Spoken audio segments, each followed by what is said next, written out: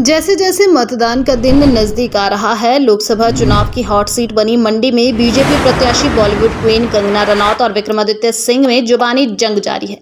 मुद्दों से भटकता हुआ मामला पर्सनल अटैक पर आकर रुक गया है। कंगना एक तरफ़ से वार पर वार किए जा रही है तो कांग्रेस भी कोई कसर नहीं छोड़ रही। शुरुआत में कंगना के बीफ वाले बयान को मुद्दा बनाया गया और फिर पप्पू, चंपू पहनावा मंदिर की सफ़ाई महाचोर थप्पड़ तक पहुँच गया। अब मामला कांग्रेस की तरफ़ से कंगना के बीफ वाले बयान को मुद्दा बनाया जा रहा है। यहाँ तक कि कांग्रेस प्रत्याशी विक्रमादित्य सिंह ने विवादास्पद बयान दे दिया कि जिन मंदिरों में कंगना जा रही हैं, उनकी सफ़ाई करवानी होगी। विक्रमादित्य ने हालाँकि बात को मोड़ते हुए साथ ही ये भी कह डाला कि ये बात हम नहीं कह रहे, देव समाज व देव नीति के लोग कह रहे हैं। ये देव नीति के विपरीत है। ये हमारी संस्कृति व सभ्यता नहीं है।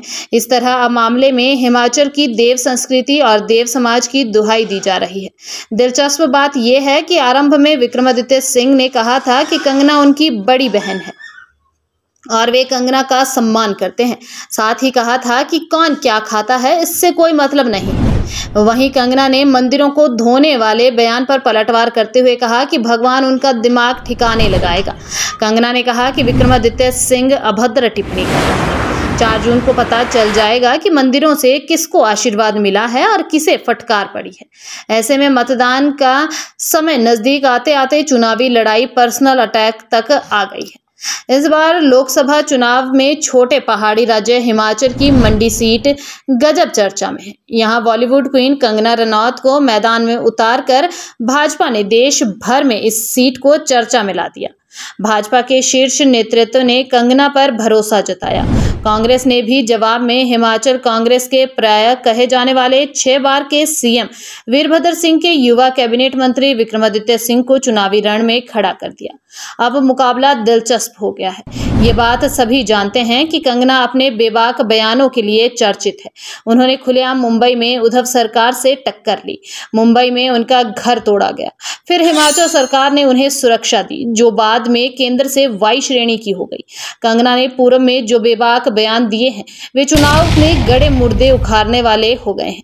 खोज खोज कर कंगना के पुराने बयान निकाले जा रहे हैं। एक ट्वीट पर उनकी बीफ संबंधी पोस्ट थी। उसे उछाला गया। हालाँकि कंगना ने बार बार सफ़ाई दी कि वो बीफ नहीं खाती है। लेकिन ये मुद्दा ही बन गया। अब देव समाज को भी इसमें प्रतिक्रिया देने के लिए विवश किया जा रहा है।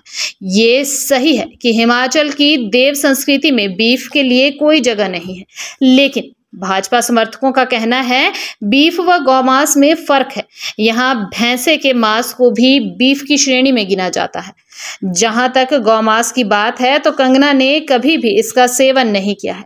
ये बात भाजपा समर्थक जनता के बीच जाकर कह रहे हैं। इससे स्पष्ट है कि भाजपा को सफ़ाई देने पर मजबूर होना पड़ा है।